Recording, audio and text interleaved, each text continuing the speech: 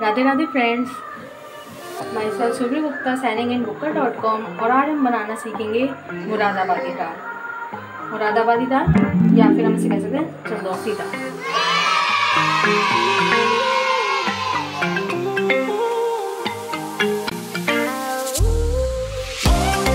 हम आइए सीखते हैं ये मुरादाबादी दाल कैसे बनाते हैं। मैंने ये एक कप एक कप दाल ले ली थी। उसे मैंने आधा घंटा भिगो के रख दिया था। आप चाहें तो एक घंटा भी भिगो कर रख सकते हैं।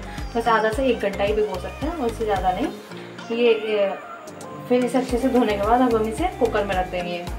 इसमें पानी डाल लेंगे। इसमें बस नमक डालकर रखेंगे। एक सीटी लेनी है बस हमें इसमें। तो देख लीजिएगा चेक कर लीजिएगा पानी ज़्यादा ना हो।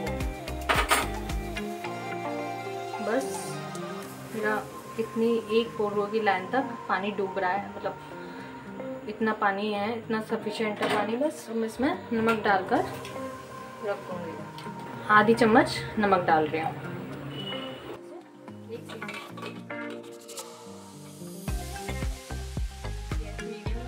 अब हमें इसके लिए जो इंग्रेडिएंट्स चाहिए, वो है एक प्याज मीडियम साइज़ अदरक, दो टमाटर, पर मीडियम साइज़ टमाटर लिया है, एक नींबू और चार से पाँच हरी मिर्च और सारे मसाले डलेंगे। एक सीटी आ गई थी और ये देखिए, बिल्कुल परफेक्ट दाल हुई है। और एकदम सही मेज़रमेंट से पानी डला था तो दाल में भी ना ज़्यादा गाढ़ी है, ना ही ज़्यादा पतली है। तो अब हम इसे तैयार करते हैं। डालेंगे। अब हम इसमें दाल कर लेंगे। मतलब थोड़ा सा नमक काला नमक अगर आपके पास चटनी हो तो आप चटनी भी डाल सकते हैं। धनिया धनिया पाउडर। एक पिंच ज़्यादा नहीं। मैं इसमें ऊपर से दाल डाल दूँगी आप अगर चाहें तो ऊपर से भी आ, मसाले डाल सकते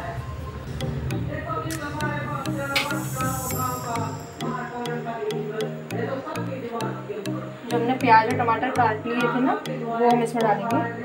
टमाटर, हरी मिर्च, नींबू,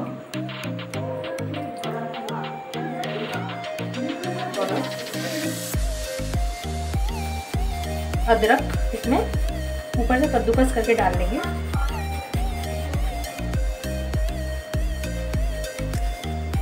आप इसमें चाहें तो गार्लिक भी डाल सकते हैं। थोड़ा सा पनीर भी कद्दूकस कद्दूकस करके डाल रही हूँ। चाट मसाला भी डाल सकते हैं आप इसमें। डाल सकते हैं। मैं बटर डाल रही हूँ। आपके पास सूखे धने के हरे पत्ते हो, वो भी डाल सकते हैं आप। देन लास्ट एंड मेन और जल्दी बनने वाली रेसिपी छोटी सी। आप मुझे आगे बताइएगा, आप कौन सी रेसिपी देखना चाहते हैं आगे? और मेरे चैनल को सब्सक्राइब ज़रूर कीजिएगा। Thank you for watching my channel bye